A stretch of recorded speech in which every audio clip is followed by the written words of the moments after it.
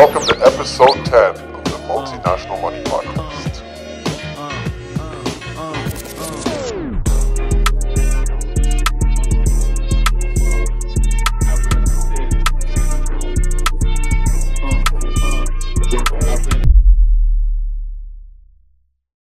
Welcome to the Multinational Money Podcast. I'm Johnny, your host. And if you're interested in financial freedom, expat life, and making the most of global opportunities, then this is your podcast. In this episode, I'm joined by Mickelle Sleyster. Mickelle is originally from the US, like many other guests, began in the corporate world before moving to remote work and has now built a full-time online business. Mickelle has experienced 34 different countries around the world and is now residing in Spain on a digital nomad visa. So we're going to talk about her experience in all these different countries, how she built her digital nomad business, and why she ended up choosing Spain as her place to be.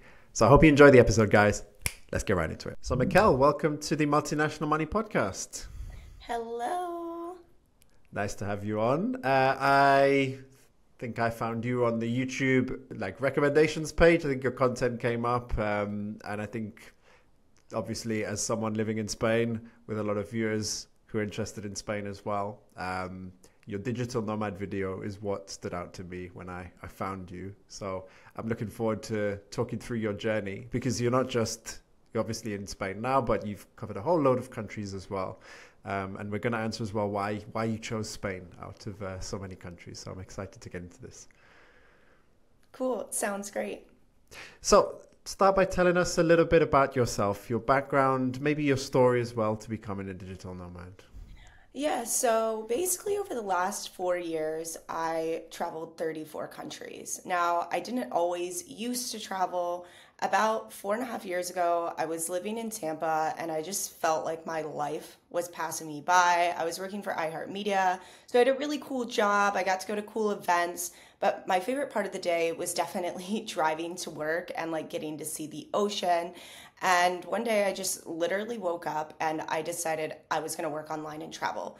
This is back in 2019, and people thought I was crazy. I was obsessed. I would spend all hours of the day listening to podcasts, messaging random people on Instagram. I would do anything I could to just figure out what people were doing. And essentially, after 250 jobs, I finally got an interview, and that interview led to me getting a job. So the job was a 90 day contract to hire. And on the 60th day, I decided to fly to Peru. For some reason, I built up in my head if I could travel to Peru solo, I could travel anywhere. And this actually happened to be in March 2020. So I'm in Peru, I'm having the time of my life, and I go to the airport and I decide I'm not going to go to Machu Picchu. I'm actually going to fly back to the US. And seven hours later, Peru went into lockdown. No one in, no one out. And I was super defeated because I was working for this for like six months, finally got it, and then COVID hit. And at that time, I decided to launch a travel blog. And that blog really took me on a crazy journey. So, about two months passed, I joined this group called Wi Fi Tribe. I'm not sure if you are familiar with it at all. Um, but I joined Wi Fi Tribe, and someone was hosting a trip in Croatia. And I was messaging her back and forth and was interested. But because of COVID, I had to re sign my apartment, and I actually didn't have the money to like pay for my apartment in Tampa and also travel. And I sent her my blog, and she was like, Hey, my boss actually likes your writing. We want to offer you this apartment in Croatia in exchange for travel writing. So, two weeks later, I fly out to Croatia. I'm surrounded with 40 digital nomads. Few days after that, the lady that liked my writing actually quit the company. And from there, like the next day, someone came up to me and was like, I want to hire you. I'm like, what do you mean hire me? He's like, I want to hire you to work for me. And then it was this huge snowball. I spent two years traveling with that group of like 40 nomads. Now I'm living in Spain, running my own business. And yeah, that's kind of quickly how it happened. What a journey. Wow. Very, very exciting journey. I want to come back to a couple of aspects of your journey as well, because 2019, remote work existed, but not like it exists today. So, how was it? Um, dealing with a lot of the wow you're crazy kind of thing um, because i mean now if someone says it it'd be like okay cool because I think it's more mainstream. I was saying this on a another episode that I recently did. Like it's it's a bit more mainstream now and a bit more common. Um, but in 2019, it was emerging, but it wasn't kind of to the level it was now. Yeah, I I think the thing was is there was like no one doing it. Like I didn't know anyone or any friends of a friend who were doing it. So it was really hard for me to find people. Um, and I felt really like I, I felt crazy for thinking I could do it, but I just had this like no matter what that it was going to work out type of mindset. And the worst was definitely what my parents thought. My parents were like, what are you doing with your life? Like you're in Mexico, no one knows where you are, like you're not even working. And my first remote job, I was working for a tech company out of San Francisco. So my resume was picked from thousands and thousands of resumes. And I knew when I got the interview, I was like, I have to land this job, like no matter what, because out of that four months and 250 jobs, I think I had no interviews besides that one because I only had two years experience and I was coming from sales. Okay. Yeah. All right. So we'll move on to now We've got basically two kind of sections that we're going to look at with you. One is obviously your travel experience, which I cover with you know a lot of the digital nomad guests on the podcast. But a lot of your business now is centered around how to build a digital nomad business, which I've talked about a little bit with other guests, but we're going to talk about it in quite a bit of detail with you, which I'm very, very interested to do and, and very excited to talk about. For someone who is looking to get started on their digital nomad journey, what's the best advice you can give to them uh, to help them get started? I think the biggest thing is believing that you can do it. If you don't think it's possible, then it's not going to happen. I meet so many people and they're like, oh my God, I'm so jealous of your lifestyle. I want to do what you're doing, but I can't. If you have any part of you that thinks that you can't do it, you're not going to be able to.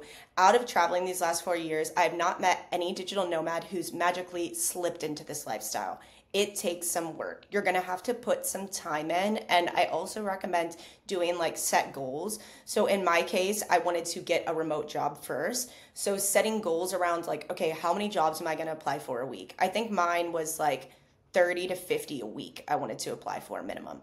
So really setting that number high and staying consistent with it and also knowing too that it's really competitive and yes it has become more mainstream to become a digital nomad but also it's still like 1 in 10 jobs are remote. So you are going for like very very competitive jobs but believing that you can do it, staying consistent and not giving up even if it takes a year. Yeah. I saw in one of your videos as well, you talk about manifesting a lot. And I also believe in the power of, you know, if it like believing that I can do it. I understand there's obviously external factors that are sometimes outside of my control, but I always kind of set myself a goal that I know I that I know I can achieve, that I believe I can achieve, even if it's difficult. Um, so yeah, I think it's very important the mindset, like you said. Yeah, and tying into that, I do believe a lot in manifesting different things into life, but I also believe in like aligned action. If you're sitting at your house and you're thinking that you're magically going to meet people who work online, who can open doors for you, but you're not going to meetups, you're not messaging people, you're not educating yourself, you're not taking courses, that's not going to happen. Everything that I'm doing now in my business, I did not learn in school. I taught myself after COVID. So everything that I offer, everything that I make money off of, I literally took courses online to learn how to do that. Yeah, yeah, exactly.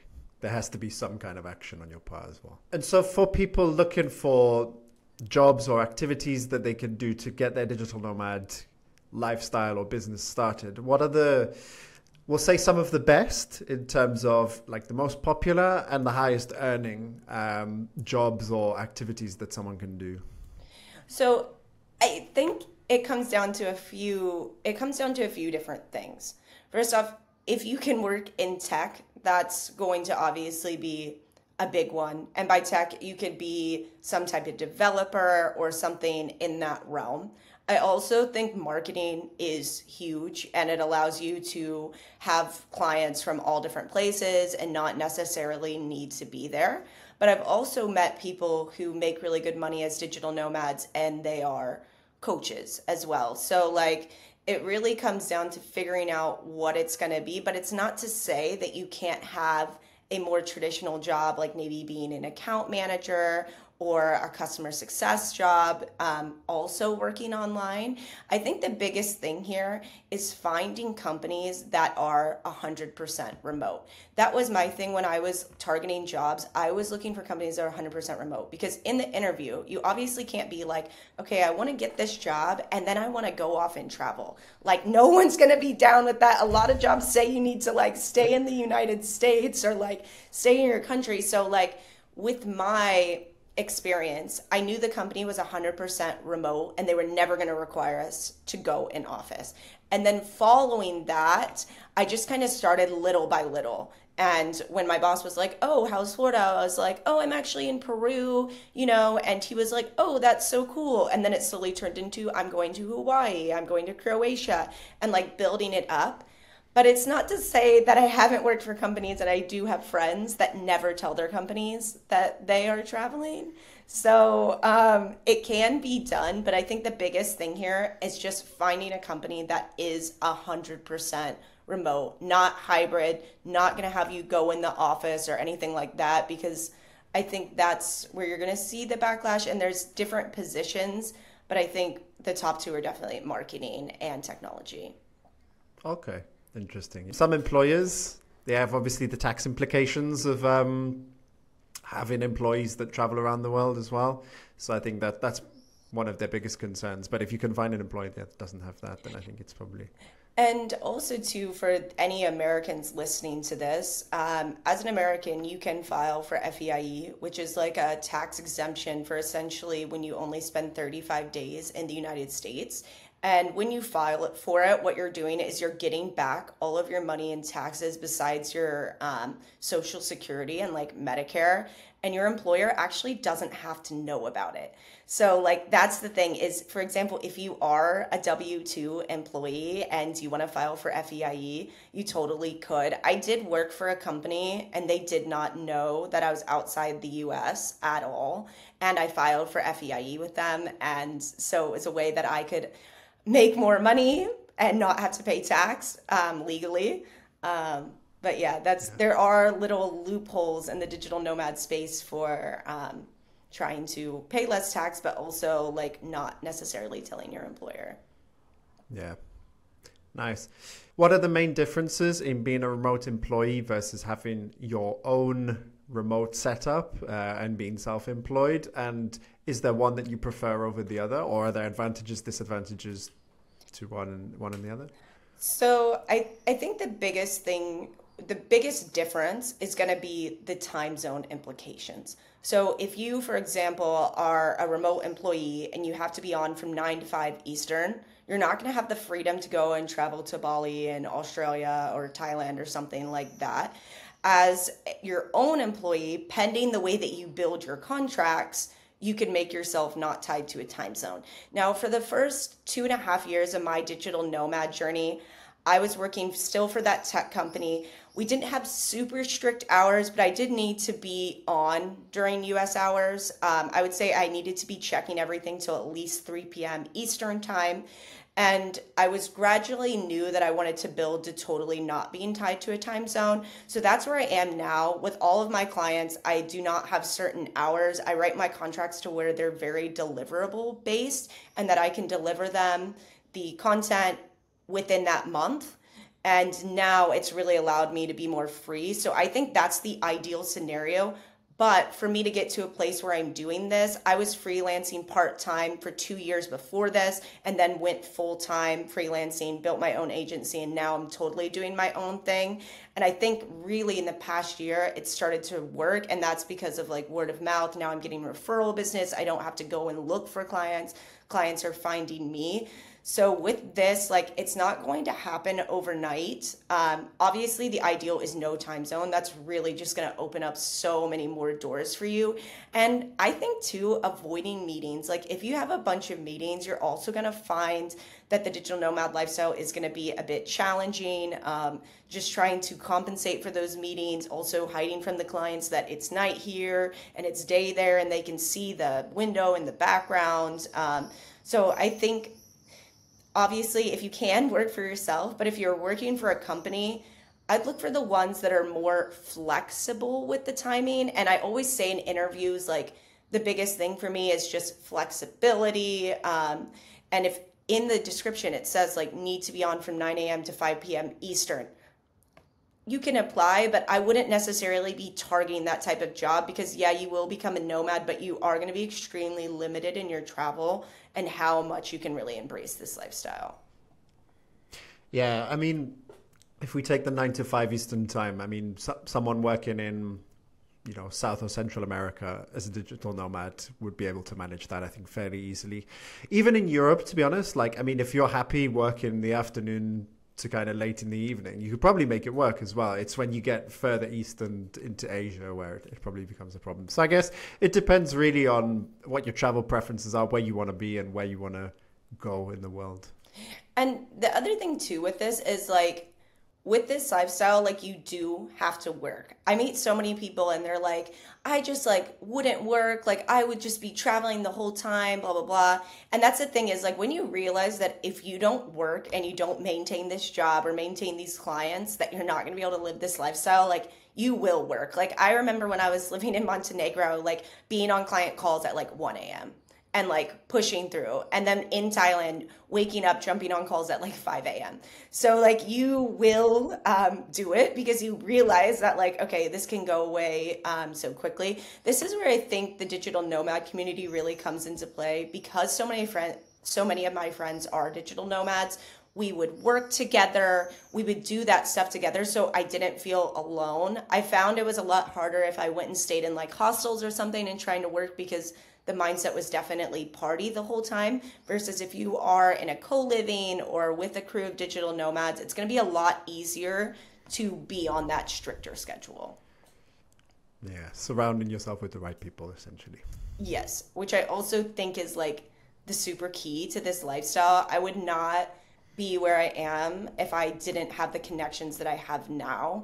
And I don't think that you have to come from some rich family or go to an amazing college to get these. It's really about putting yourself in a situation to meet these people. There's different paid digital nomad groups that you can join, which I highly recommend. But there's also like Facebook events and stuff. But once my network changed, that's when the doors opened and I started getting a lot of clients and people started recognizing who I was and my whole life just changed after that.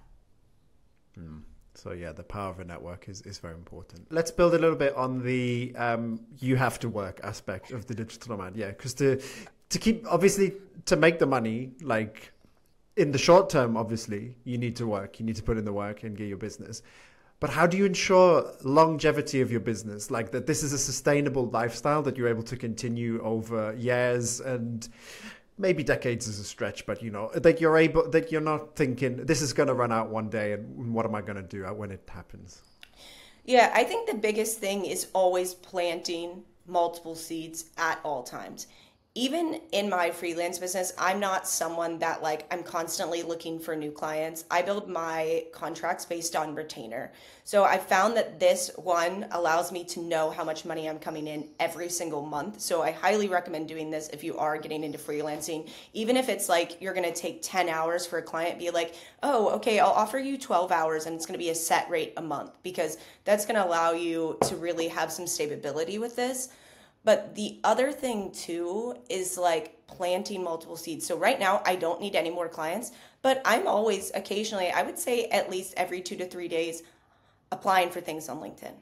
Just quick, easy, always putting myself out there, always looking for the next opportunity. When you meet someone, being curious to actually getting to know them, not thinking like, "Oh, what can I get from this person?" but be genuinely curious, get to know them because then who knows that can turn into another opportunity i think it came out it was like 90 or 80% of digital nomads own their own business so once you start running in this inner circle it's about really connecting with people and then you're always going to be guaranteed to have clients and know people that can get you somewhere. For example, now I have multiple friends that own different businesses, but I also too can message them and if I lose one of my clients, like I have other people that I can lean into. And it's essentially, I like to think of it as like a non tangible um, asset. And I think that's really important in this digital nomad lifestyle because, like, yeah, you can have money, and the more money you have, like, that's gonna be, that's great. But the more connections that you can have,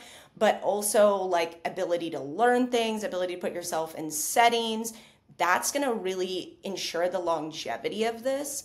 The other thing too is like watching the way that you write your contracts. For example, in the United States, like even if you're working a W 2 job, you only have a two week notice. With my clients, they have to give me a month's notice. So I actually have more security now working as a freelancer than I did when I was working in the United States as a W 2.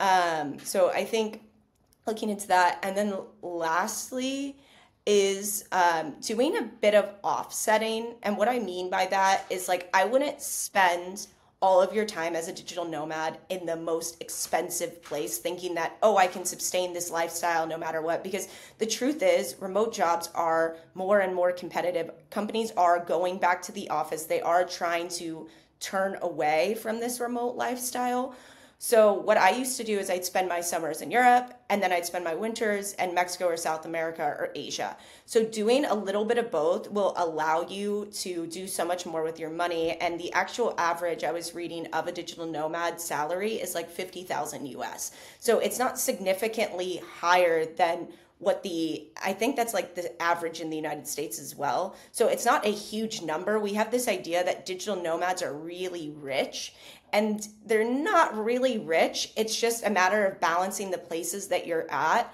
and then also making your tax situation work for you. Yeah, I think yeah, you say fifty thousand dollars is, is not a lot. De- definitely by U.S. standards, because I think that that amount of money in Europe um, is is actually quite a lot, um, and it's above definitely the the average salary in a lot of European countries. Um, and what someone can do with that in different parts of the world, um, you know, varies greatly. Like fifty thousand dollars in the US might not go very far, but fifty thousand dollars in Eastern Europe, like you might be living like a king or a queen almost. So the geo arbitrage part of uh, digital nomading as well, I think, is very. Um, it's an important part of the lifestyle that makes it work as well, definitely. Yeah, and even too, um, and of course, fifty thousand US is high compared to like European um, salary, but even even if you're only making 30,000. There's still a lot that you can do with that, especially if you're traveling in South America, Mexico or Asia. Like I when I was living in Mexico, it's very easy to live off of like a thousand dollars a month, seven hundred, and that's you going out all the time, eating out, living in a nice place. So I think really being able to tap into some of those countries that are more affordable, um, or even when I lived in Argentina, Argentina was really, really affordable. Your money is going to go so much farther. Yeah, yeah. Nice. That's maybe a good segue into the next question, which um, I'm going to expand a little bit beyond what we originally had. So, how can someone who is a digital nomad secure US clients? And I'm going to add into this question and Europe, maybe European clients as well, because I think it's the, the same kind of principle. You know, there might be digital nomads from Europe uh, who are traveling, and, and also European clients make up their business. So, how can someone go about that whilst traveling the world? So, I think the biggest thing is the way that you paint yourself to be portrayed. So, Think of LinkedIn as your digital real estate. When people look at your LinkedIn profile, they need to get the impression that you are very established. You know what you're doing. People need to really be able to look at your LinkedIn and get a strong view of who you are, what you can offer them. The other platform I recommend a lot is Upwork. This has been a gateway into me getting a lot of clients. This is essentially how I started my freelance business. Um, so I think painting yourself to be portrayed as someone of value on both of these platforms is going to help you a lot. And then when it comes to actually going out and reaching to people, it's making sure that you have examples of whatever you're offering and that you have quite a bit of them. And if, for example, you want US clients, but you don't have any clients actually in that space, it's creating something so that they can see it. In my case, my travel blog was my example. I didn't have any clients I was writing for. So when I submitted myself to jobs, I was sending different blogs that I wrote from my own example. So making sure that you have an example. And the biggest thing I think with the US market is showing additional value. When I would reach out to companies, because I was doing SEO writing at first, I would always pull like a quick audit on their website and be like, hey, by the way, you're only ranking for X, X, and X you aren't doing anything with all of these um, and then telling them what I can offer them. So it's really about positioning yourself with that upper hand and them seeing the value right from the start. I do have on my LinkedIn and on my Upwork that I am located in the United States. So I do think if you are targeting US clients, if you don't have a US bank account, this is where this is going to become a little bit of an issue. Um, and so I wouldn't necessarily put it in US, but I would maybe put it in UK or somewhere in Europe um, so that people are more open. I found in the US they are more open to people generally from the UK. My friends that are from the UK that have you, I have a lot of friends that are from the UK but have US clients. Um, so if you are in Europe, maybe putting your location as the UK, um, but keeping your location as one of the things that will help you a lot. If you're traveling or living abroad and you need to use a different currency from your home currency, then check this out. I've been using a multi currency platform called Wise for many years now, and it's a great solution for people who are looking to send money abroad, convert money, and spend money in foreign currencies. Wise offers competitive exchange rates with low commissions, meaning that when you need to exchange money to another currency, you don't overpay to do so. You can get bank details for a range of different currencies to be able to send and receive money abroad. You also receive a virtual debit card so that you can make purchases in other currencies, which is particularly useful when you're traveling. And you also have the option to get a physical debit card if you wish as well. This is an absolute must have for me when I travel. I've been to multiple different countries around the world with my Wise card, and I'm very happy to have done so. It also helps me on a daily basis when it comes to banking in multiple different countries. Sign up to Wise today using the link in the video description on YouTube or in the show notes on podcasting platforms.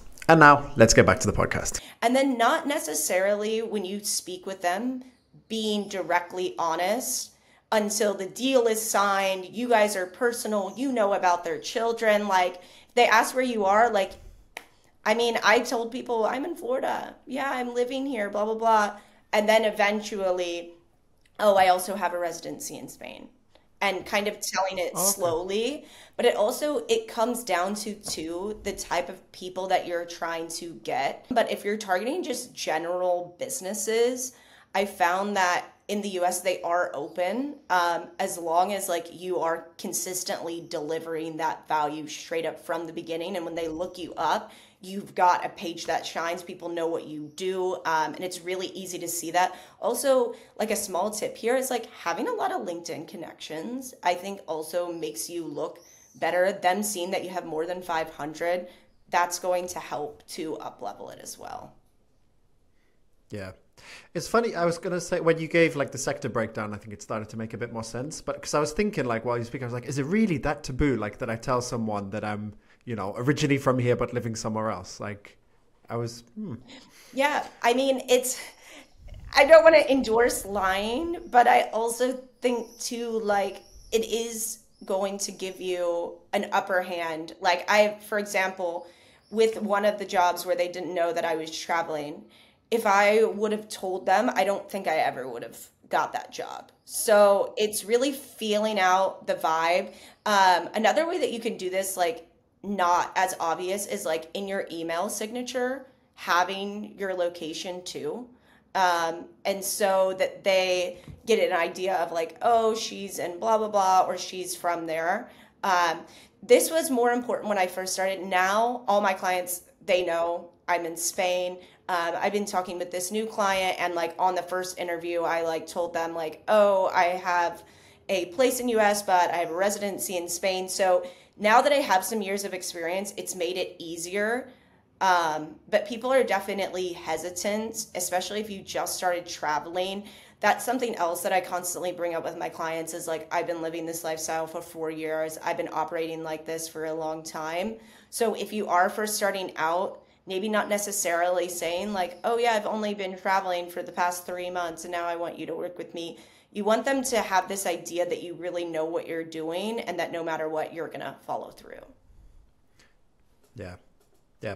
Your channel on YouTube is uh, still growing at, at, the moment, but you, do you think, how do you think you'll deal with this scenario if someone has seen you on YouTube and that ends up being your client. I, I mean, to, nah, to be honest, if that scenario comes up and they're contacting you, then they already know and they're cool with it, I guess. Yeah. And the thing with this is this is when it comes down to like the kind of connections you've built because now the only type of clients that I attract, they're like, I want to work with you no matter what. What are your rates? What can you offer me?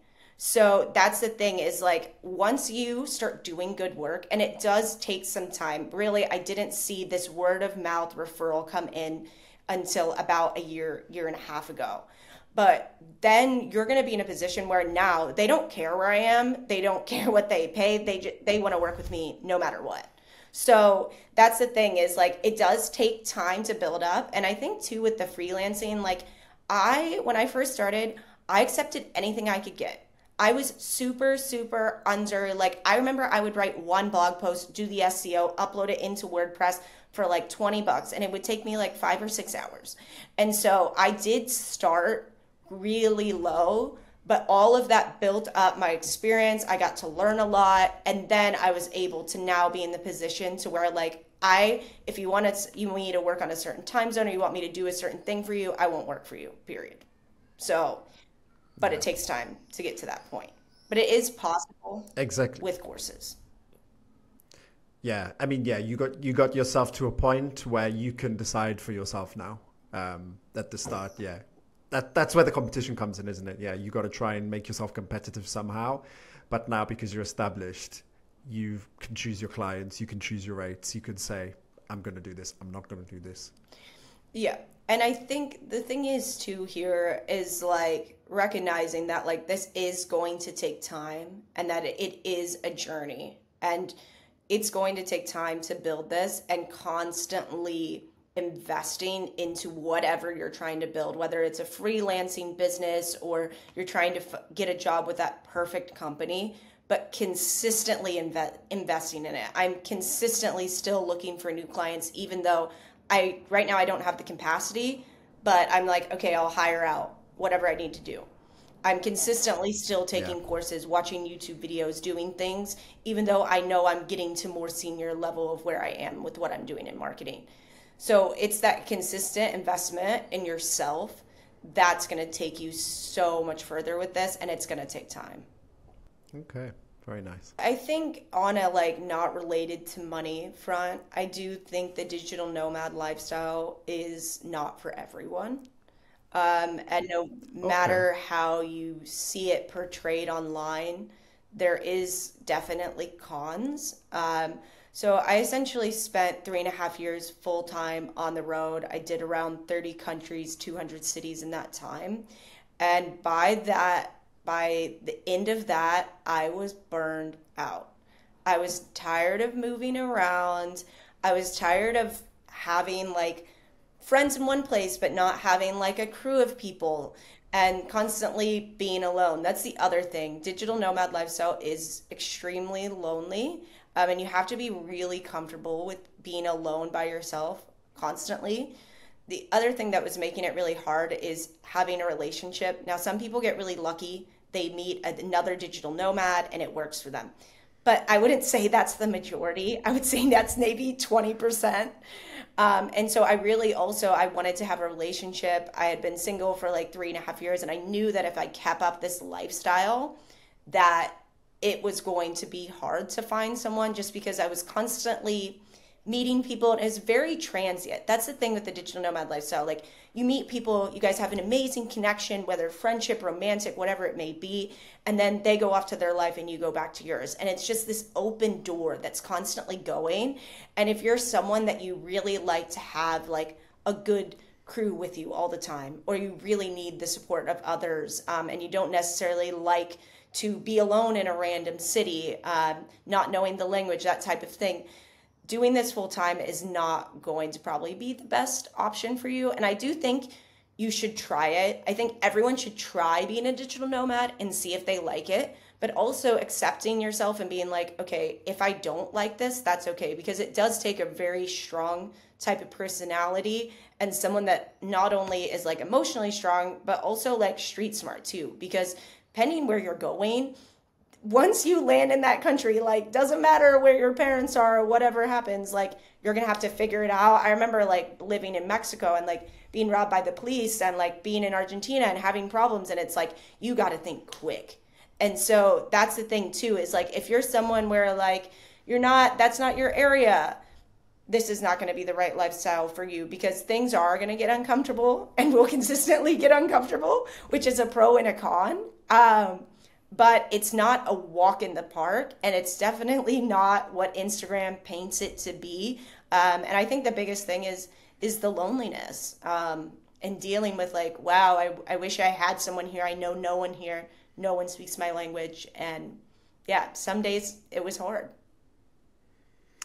Yeah, I can imagine. I can definitely imagine. It's important, yeah, for people to keep that in mind as well. And I don't know if I wouldn't say I would never go back to full time nomading the the thing is that's really weird now is because I did do it for so long, I like stimulated my mind so that when I first started living in Valencia, I actually was like struggling a lot because I was like, I need to move around, like I need to go somewhere else. Like I was finding these like desires. I was like, I need to do something, like and I was I was struggling. Whereas now it's calm down and I do miss elements of my nomad lifestyle and I would like to go back to it in some capacity but I think that for me, I'm always going to have a base now. I did go two and a half years with no apartment, no nothing, literally just my backpack, which was really fun. But like, also it sucked because sometimes you're like okay i need to go somewhere for like two weeks i don't want to go anywhere i wish i had like a house and i could just like go relax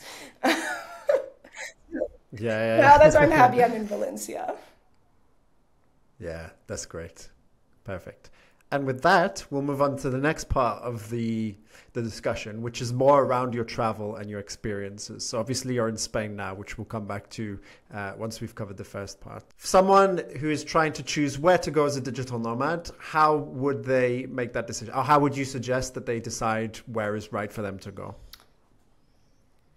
I think the biggest thing is what type of lifestyle are you envisioning? Are you envisioning something that's really like calm, chill, minimalist, like you don't need to wear shoes, swimsuit type of vibe. If that's what you're envisioning, then like pop over to Mexico. If you're envisioning working in really cool, like techie cafes, having everything you need, living in a luxury apartment, Bangkok is probably a better place for you. So it's really recognizing and thinking about like what type of lifestyle do you want to have? How do you want to be doing things on a daily basis? Do you want to have to take a car? Is it important for you to be able to walk everywhere? Are you going to have to take taxis? Um, I think this is especially when I think about traveling through South America, like taking different taxis and stuff sometimes can be a bit of a challenge. So it's recognizing too, like what level of challenge do you want to deal with? Do you want to go somewhere where you don't really need to worry about having your phone out and carrying your laptop? Or are you cool with like not bringing your laptop anywhere and actually having a burner phone? Like, are you cool with that? Because if you are, then maybe you should go to Brazil. So it's recognizing like what is going to be that level of comfort for you. I always recommend people if you're first starting out and you're coming from the US, go to Europe um, that's going to be a way easier adjustment. Um, and then if you're liking Europe and you want to do something a little bit more different and you want to get more chill, take a little bit more risk, I would go to Mexico. And then when you're feeling like, okay, I'm ready, I can get uncomfortable, I don't need my phone to walk down the street, I know where I'm going, I can pick up on a language, I can pick up on when things are happening, that's when I would head to South America.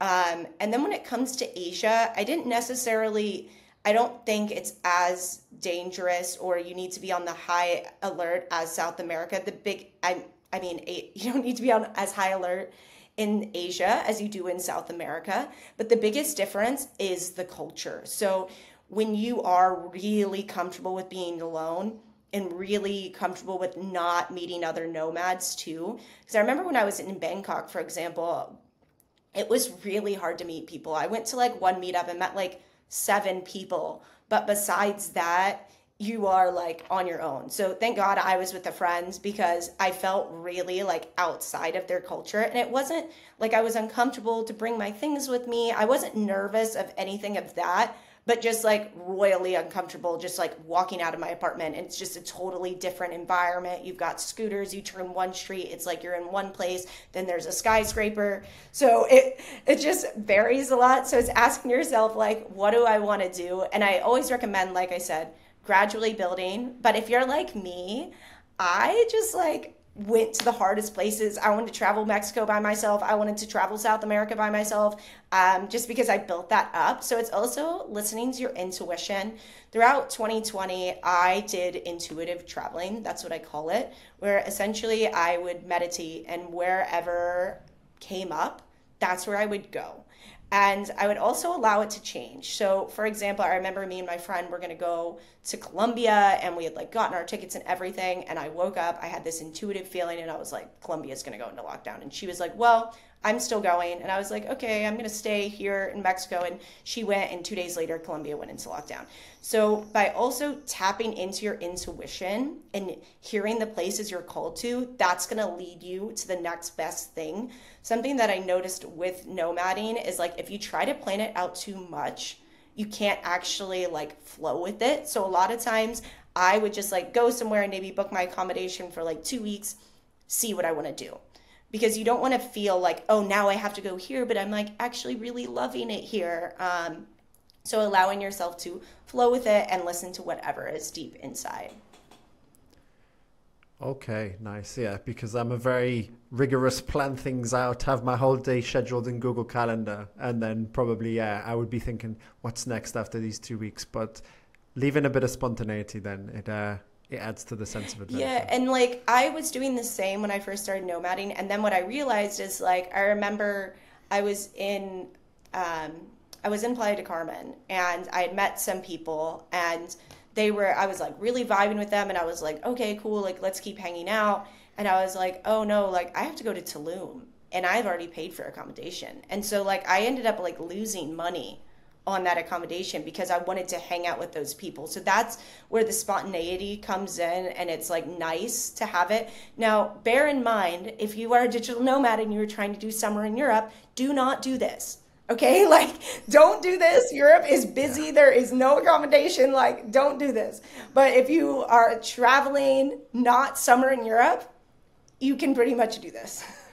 Yeah. Okay, nice. Yeah, yeah, like Europe right now is just full of tourists. It's high tourist yeah. season right now. And the accommodations, like the prices go up, it's higher. Um, so, yeah, yeah, that's where I think if you are going to somewhere that's like super, super desirable, for example, I went to Koh Phangan for the full moon party. I booked that accommodation for the party like four months in advance.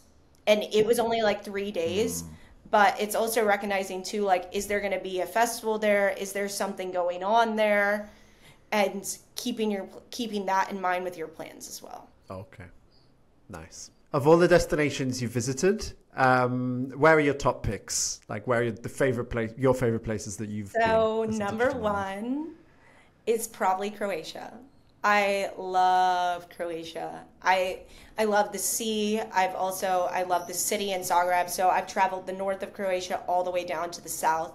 There is just this super calming energy right when you arrive. Majority of people speak English. You don't need to worry about anything. I lived there for about nine months. I never ran into any type of issue with anything.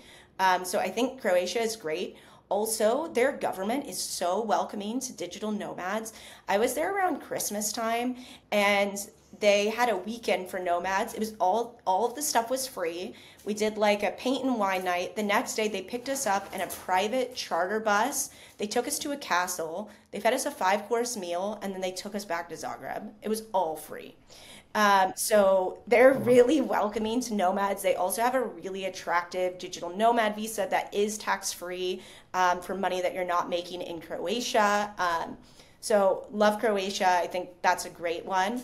Um, the other one, obviously, I think Spain is great. It's the difference between Spain and Croatia is Spain is super multicultural. So that's the only disadvantage of Croatia is like in the summer there is a lot of tourists, but besides that, 90% of people living in Croatia are Croatian. So if you value multicultural, you want to be around a diverse group of people, multiple languages, Spain is a really good place um, to be. The other one is Thailand. I honestly think if you're a digital nomad with no time zone ties at all, Thailand is the best place to be. There is an amazing sense of like community and stuff there, especially if you go in the islands. It's a little bit harder in like Bangkok, but if you're in the islands or Chiang Mai, Thailand has a lot to offer, a lot of cafes, very affordable, um, and just really great quality of life. I loved the Thai people, they're so pleasant to be around. Um, so I love Thailand.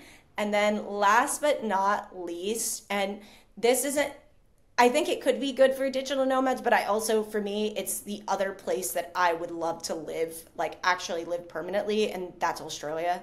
I think of Australia as like the US, but more affordable and more safe. So if you're someone that you like the US lifestyle, but you're overpaying the prices and you don't like that it's not super safe, check out Australia because they've got a really good vibe down under, down there. So. Okay, nice. I'm going to ask you this because it's a very common one for entrepreneurs and solopreneurs, but I haven't heard you mention it. Dubai, have you been or do you have um, any thoughts I personally haven't been. haven't been.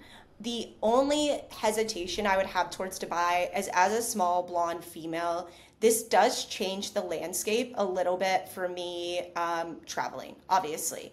And in Dubai, there are certain parts where you need to have a man with you. There's different things. So I try to stay away from places that are going to be a little bit more strict, maybe with what females can do. For example, like I had a friend go to Malaysia and like I didn't want to go to Malaysia because she had to like cover up the whole time and like there were certain parts of Malaysia she couldn't go to without a man. And so I think this is what comes down to like your preferences. If you're female and like you're cool with like adapting to those rules, you don't mind like if you need to wear a certain thing or if in certain spots you need to have a guy with you or do something like that and you're cool with that, then great. But if you're like me and you're like Florida blood, like I'm sorry, but no. So I'm not doing that. Um, but I would I would love to okay. check out Dubai um, eventually with a guy. Okay, cool, fair enough. Now let's come back to Spain and specifically Valencia. So, of all of these countries, you chose Valencia. Why? So, the biggest thing is like it's a city on the coast. So I love spending my winters in Mexico and living in really small beach towns and just like the simplicity of the beach lifestyle. And I also loved like living in cities. So like going and living in Zagreb or living in Prague or something like that. And I found that Valencia was like the perfect mix because you have a decent sized city. The population is around 800,000. So it's not going to be super big. It's not as big as Madrid, but you are going to have decent sized city. You're not going to be able to like walk it in like 10 minutes or anything like that.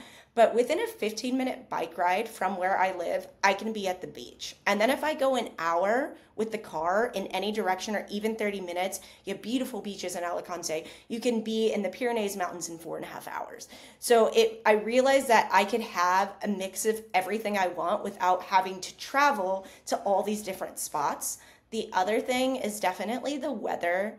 Right now, it is unbearably hot because it's July and August. But besides these two months, the weather is really good. Even in like February, January time, it's still in the 50s and 60s, so like 15, 17 degrees Celsius. So it's still really nice to be around. So the weather. And then lastly, I would say coming from the US, affordability it's significantly less for me to live here than it what it cost me to live in Florida when I was living there. So that was the biggest thing as I realized like wow I can work less and do so much more. A big part of my journey this past year is I went full on into my creative endeavors. Like I got rid of some clients and I was like I'm going to focus on Instagram YouTube and I want to see where this gets me and I was only able to do that because I was living in Valencia and it was more affordable than full time traveling because the short term housing does get expensive. um, especially if you're moving a lot. Um, so I was able to get an apartment here for affordable, um, affordability, an affordable way, and the just the overall um, city as well. Lastly, it is very safe. I don't know anyone who's had any type of problem here, like gotten their phone stolen, had any type of issue. It doesn't seem like it has the same type of issues that Barcelona has. Um, and people are really open to tourists. Like, I haven't experienced anyone being rude to me because my Spanish isn't good enough or anything like that. So I felt really welcomed um, by the Valencian community from the beginning. Yeah, I was going to ask you about uh, yeah why you choose Valencia over Barcelona, but basically the, the, the reasons you've given there are like the same reasons that I would also choose Valencia over Barcelona. Valencia, I see it as like it has all the good things of Barcelona without the busyness, um, without the stress, and, and, and, it's more affordable as yeah, well. Yeah, the advantage I would say that Barcelona has over Valencia is there is a bigger digital nomad community, drastically bigger. Yeah. I've noticed it change a lot in Valencia in the past year. When I first came here last summer, it was hard. Um, I really struggled to meet my people. I was even hosting a lot of events, doing different things and I really struggled. And now it's changed so much. There's so much going on for expats, English speakers that it's crazy. And like I've also had like six friends move here in the past four months that I've met out traveling. So like Valencia, I think, is like gonna pop off. The good thing about Valencia though is like they do have a lot of legislation in place around like restaurants they can open, things that they can build. So it does ensure, as long as that legislation doesn't change, that it won't become Barcelona. Because, like, for example, now in Russafa, you can't open a restaurant unless you already have the license and you have to get the license from someone who had a license. So there's things in place that I'm hoping will keep it still more calm, but we are seeing an influx in price and an influx in people moving here. And most of them are expats. Okay. That's interesting. And so you moved to Spain on a digital nomad yes. visa, right? So I think you're actually the first person that I've talked with um, who has come to Spain on a digital nomad visa. So I'd be very interested to hear how was your experience? Like, yeah. what was the process like? so I was like one of the first people to apply for the visa. So essentially, the visa came out last year at like end of February. That's when they started saying it was out. And I immediately came to Spain in March. Now, when I first came, it was a problem because there was no real clear path to what you needed to submit. So I was hearing like different things. Like on the US Embassy website, it was saying one thing, my lawyer was saying another thing. And so it was really inconsistent. Um, and I ended up finally submitting for the visa at end of June. Now, they say like okay after 20 days if you don't hear anything um, you can apply for a silent approval well, the thing is, is for some reason my application got lost with like 20 other applications. So, like, when I applied, I didn't hear anything for the 20 days. So we went for the silent approval, and my lawyer applied for that. Well, after that, you can't do anything. You just have to wait for them to like actually approve the silent approval. And that took about two months. And there was about 20 of us who had applied at the same time I did. It was like the last three days of June, and we just never heard anything about our applications. The only reason I know there was 20 of us is because of the Facebook groups. Um, and then finally, I got the approval, but getting approved is like literally step one in this process. The next thing that needs to happen is you need to get a TIE appointment. And in Valencia, they were super, super backed up. At one point, I actually hired a hacker to get me an appointment because my lawyer could not get me an appointment. And you're supposed to have an appointment within a month of getting your approval. I couldn't get my appointment till end of November. So I applied at the end of June. Wow. I didn't get a yes until August. I couldn't get an appointment till the end of November.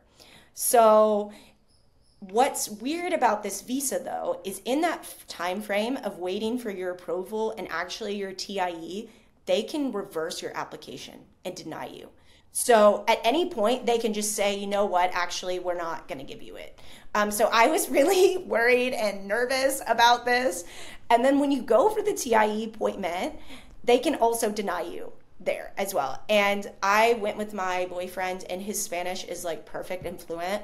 And I would recommend if your Spanish isn't good when you go for the TIE appointment, having someone that speaks Spanish with you because they weren't super kind when I was there.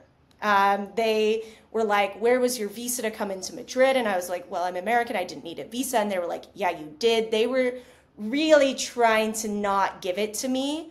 So I don't think this is going to be consistent across the board. And that's what I've noticed with this visa. Like, I've had friends who've gotten it, gotten their TIE in a month and a half. I've had friends, like I had a friend from the UK who literally randomly got denied and she can't get the visa.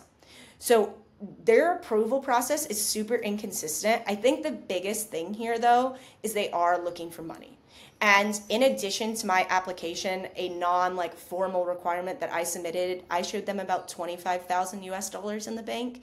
And I don't think that's the only reason I got approved, but if you can show them some money in the bank, that's going to make a difference. And that's the only thing that I can pull from all these people who've been approved who've not because it's not a formal requirement. But if you've shown some money, I don't know anyone who's shown some money and not gotten it. There are many viewers of my channel who are looking for the way to make their dream of moving to and living in Spain a reality. And two of the most common questions I get asked in the comments are Johnny, how can I move to Spain and which visa do I need? My friends at Bureaucracy are an expert team with specialist knowledge on immigration procedures and different visa options when it comes to moving to Spain. And they'll be more than happy to help you with your visa application. Whether you're looking to come to Spain on a non lucrative visa, whether that's as a retiree or whether you're just taking some time off and want to enjoy the country, whether you're a digital nomad coming from outside of the European Union and you think Spain is the right place for you, or maybe you're trying to take advantage of the golden visa option whilst it's still available. Bureaucracy can make your life easier by telling you what documents you need, helping you to translate those documents, bring everything together, and they'll also give you a visual dashboard in your client area where you can see how your application is progressing along. So if you need support with your Spanish visa application, then head over to bureaucracy.es forward slash millennials with money all together.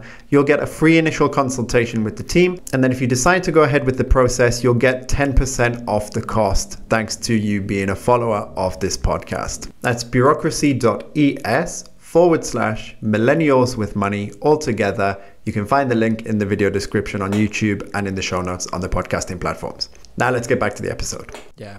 I mean, it's um, it's one of the things that they want in digital nomads, like, is that they're not going to become a burden on the state. So it definitely makes sense what you say as well. Um, I'm going to take um, advantage here and share a tip that I have um, for getting appointments um, in the administration. So depending on where it is, each kind of extranjeria department has a certain time and day of the week that they publish those appointments. So once you find that out, be online at that time and be hit and refresh in the browser immediately. And if you can't get a, an appointment, what I always did, fortunately, it never got to that for me. I never got past like 30 days for like renewing a card or anything. But take screenshots with a date and timestamp that there are no appointments available so that if you need to appeal one day, then you have the proof that look, I'm trying, but I can't get one because your system doesn't have appointments. no guarantee that it will work, but it's a backup that I always had ready just in case I had to pull it out of the yeah. bag. And that's, I did that. That's what me and my lawyer did exactly um, to have that support. The yeah. thing with the visa, though, and I think this is really important for people to hear, is like, there is, if you are filing as autonomo, which as an American, you have to be autonomo because of the Social Security deal in the United States. You cannot go for Beckham's Law and there is no tax break. There is so much bad information out there about how you can save money on taxes, and like none of that is true. And there is no tax breaks. Doesn't matter if you have a holding company in Estonia, whatever it may be. If you are coming to Spain on this digital nomad visa, you have to pay tax on your global income, and it is the progressive rate. And they are looking for people who aren't paying taxes. I recently was reading that they're going back through old applications and making sure that those people have been paying their quarterly taxes and are paying Social Security. And if they look and you haven't, they are revoking people's visas. I really think with this visa, since they're already seeing that backlash, this visa has barely been out a year, like it will be a year in February they're already seeing like that backlash. I think that like you're going to see Spain limit the amount of visas or potentially get rid of this visa. So that's the thing. If you are interested in this, you need to go for it soon um, because the fact that they're going back through the old applications and stuff and everything that's going on in Barcelona with the Airbnbs, I wouldn't be surprised if they limited it or in a few years got rid of it. Yeah, I would be. I wouldn't go as far as to say I think they'll get rid of it. I think what they might do is, as you say, like increase the requirements, maybe increase the income requirements, limit the the group of people who are eligible to apply. Um, but I think it, it's such a new thing. So I think for them to make a U turn on it, um, I think it would surprise me I if they not, were to do that. Because this is my only um, way to live here. Yeah. so I really, I yeah, hope yeah. not. Yeah. Well, I mean, there's other visa options, but I think, yeah, if you're someone who works, then digital nomad visa, and you're a non-EU citizen, of course, then yeah, digital nomad visa is probably the the way to go. One other thing I was going to say, yeah, in the administration as well, in like the appointments, um, I think it very much depends on like the luck of the draw who you get that day.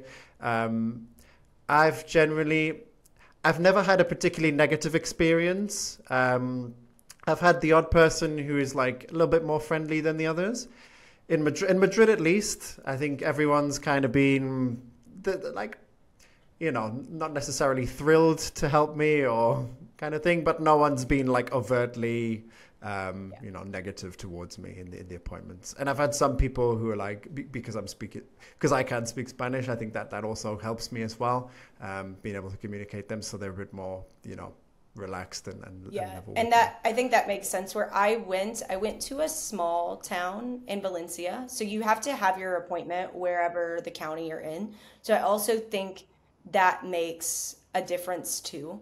So if you can communicate in spanish you're going to be in a lot better spot. In my case my boyfriend was like translating everything and i was like sitting there like a dog like, uh, what do, what's going on?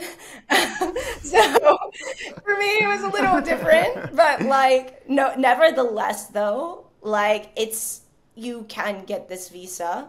Just if you have the money, it's gonna be yeah. significantly easier. Yeah, yeah. Yeah, and it's important what you said about the Beckham law. Like, um, it. Uh, yeah. I mean, it is possible. Like, some people can get it, but it's like very, very specific cases and very specific profiles that can get it. So definitely, someone who is interested in getting that should speak to a tax professional because they'll be able to clarify if it's if it's applicable uh, in their situation. Because I mean, may, on, on another video where, where I spoke with a, a lawyer um, about the digital nomad visa, I, I, brought this up, and her kind of answer to it was that you know it's maybe a little bit of marketing, the fact that they, they advertised it along with the digital yeah. nomad visa. Yeah, and maybe they will. There was rumors that they were going to change the law so that more people could get it. I guess we'll stay tuned. The only thing is, though, is like if you are living in Spain and you're capitalizing on the benefits of living here, paying the same taxes as everyone else makes sense in my mind. Um, so I can see why Spain is keeping it the way they are. Yeah. Yeah. So, tips for making friends in Spain when you don't speak Spanish? I think the biggest thing is going to meetups. And if there aren't meetups going on, going on Facebook groups and actually putting time in to introducing yourself. So what I did is I would post a photo of me, but I'd also like post a photo of like my cat or dog, something that I knew would go a little bit more viral and posting and like trying to reach out and putting time into it. The other thing is like putting yourself in situations where you're going to meet people. So I go to a Pilates class now up until like a few days ago. I've been going for like three months. Everyone in the class only speaks Spanish. My Spanish is still very beginner, but I finally now have made a friend in that class. So putting yourself in that situation where even if it's uncomfortable, like going out there and doing things that you know that you like. Um, so whether it's yoga, Pilates, whatever it is, but feeling like okay i can go out and do it. And you will find that people are going to be able to speak some kind of english or whatever language you can speak whether it be french italian whatever it may be. They're going to be able to speak some of it and you will be able to communicate. So i think the biggest thing here is getting out there, not being afraid, and then investing your own time into hosting events or trying to meet people. The Facebook groups are like the biggest help with this um, and have been how I've met so many people. Um, and so I think Facebook lean into that as much as you can. Yeah, uh, they're good tips. And, and, are there any other challenges that you faced as an American uh, moving to Spain and adapting to life in Spain? It was really hard for me to get used to like the full on slow pace of life. Even though I'd come to Valencia for three years for like two months, I throughout the three years of me full-time traveling i was with expats and nomads so like we are all on this like fast-paced life like what's next where are we going what excursion are we doing where are we staying like and when i came here especially moving in with my italian boyfriend we were like very opposite like I was super ha- fast paced. I didn't understand why everything was closed all the time. I also just like being from the US, I'm a bit of like a workaholic. My boyfriend was like, you need to stop talking about money. You need to stop like working so much. You need to relax. So this was hard to adjust to, especially the things being closed. Like I wasn't used to like, oh wow, okay, it's like two to four, everything is closed. Like, what's up with this? But now I actually really like it. So I think the biggest thing that Spain has taught me is like patience. I can go into a restaurant now, no server can come up to me for like 25 minutes and I'm like mad chill. I'm like cool with it.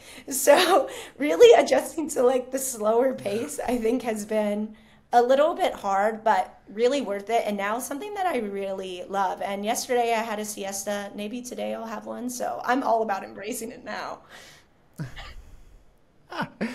Nice. Starting to show some integration. Yes, and I eat dinner much later. So that was the other thing, like how late everything happens here. Like it's crazy. Um, but now I like do everything a little yeah. bit later. So. Yeah. Ah, cool. Okay.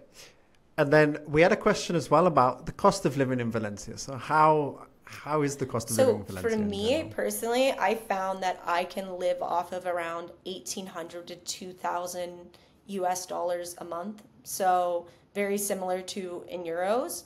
And I found that that amount allows me to go out a few times a week, um, go to the nail salon, get my hair done, maybe do 200 bucks, $300 worth of shopping that month so I found that that's a very manageable amount. Now, bear in mind what's gonna it's gonna come down to here is your apartment and the cost of living. If you are in a really trendy area, for example, I live in Rusafa, most of the individual apartments here, they are, I would say, two to three bedrooms are like 1600 euros a month. When I got my apartment, that average was 1200. So I've been here for a little over a year the rent is going up a lot in Valencia. And if you're on the expat groups, you're going to see people talking about this. Now, if you're willing to live outside of Rusafa, a little further away from the center, you can still find a more affordable apartment. Also, if you rent a room, you can still find a room for, I would say, four to 600 euros a month. Um, but find those days of like finding your own apartment for like seven or 800 unless you're by the beach or in a less desirable area, those are fading away, which is unfortunate. Luckily, I'm in this apartment in Rusafa. It's 800 a month. It's three bedrooms. I'm not giving it up for the life of me, but because I've got it on lockdown. Um, but that's that's where you're going to see the difference. I think it's really easy to spend like 250, 200 on groceries a month and then whatever your rent is and then use the rest. Like there's still a lot of food in Valencia where you can go out for a full lunch for like 10 euros. They have the mozzarella here, which is like six euros, toast with tomatoes, like three euros. So it is really affordable, but the rent is where you're going to see the price. And if you are considering moving here, finding an apartment with a foreign contract can be really challenging um, just because of the insurance situation. So this was something that me and my boyfriend struggled with. Um, and once we came across, like our landlord is German, we were able to get the apartment and it was fine. But if you do have a foreign contract, you can expect to have some hurdles to jump through just because they are less open to foreign contracts and people renting with them. Yeah. Cool. So I'm moving abroad soon. I'm looking for a place to live, but it's very difficult because I'm a foreigner, I don't understand the local language, and there's a whole load of paperwork and local requirements that I have to fulfill. What can I do to find a place to live? Enter Uniplaces, the largest global platform for furnished rentals. On Uniplaces, you can find adverts from landlords who are advertising rooms and full apartments across Europe, the Americas, and Oceania, and not have to worry about the bureaucracy, guarantors, and all the paperwork that comes with doing processes locally. By booking through Uniplaces as well, you can also get a certificate of prepaid accommodation if that's required for your visa application. Once you make a booking request on the site, you can expect a response within 48 hours from the landlord, and once it's approved, the place is yours. And it doesn't end there because Uniplace's multilingual support team will stay with you right up until you move in, even making sure that the move in was smooth and that the place fits the description that was on the website. Book now with the code UA Millennials25 and receive a 25% discount off Uniplace's service fee. That's U for uniform, A for alpha, Millennials with two L's and two N's, two five. You can find the code as well in the video description on YouTube and in the show notes on the podcast platforms. And now, back to the episode. All right. Mickelle, this was a great conversation. I learned so much. So thank you so much for your time. As I do with every guest on the podcast, we're going to finish on a fun question. So, Mickelle, your fun question is about yoga because I believe you are a yoga instructor as well as you know the business activities that you do on the side. So I wanted to ask you: Are there any principles from yoga that everyone can and should apply I think to everyday the biggest one is presence. I think so much of the digital age has given us this idea that if we're waiting in line for a coffee or waiting to cross the street, that we need to like be on our phone, we need to be looking at something, we need to be stimulated. And I think it's really important to spend time doing nothing. So while you're waiting for that coffee, not being on your phone when you're walking in the street, just being present walking, not listening to anything. So I think when you can infuse more presence into your life, you're going to get a lot more clarity. You're going to get random bits of information, but you're also just going to feel a bit more calm in general. So I think presence is huge. Um, and then the last one I would say is openness and I think it's just being open to all different types of people. Um, especially as I've been traveling, um, we all know there's a lot of different wars, there's different things going on, and you're meeting people from a diverse group of countries. And being able to go into a situation and not judging someone based on where they're from or what you've heard about their country or what you've heard about their government or anything like that. So, really applying that openness to your life, it's going to allow you to make more friends um, and it's allow you just to see people as people because that's truly all they are. Yeah. Amazing. Great tips.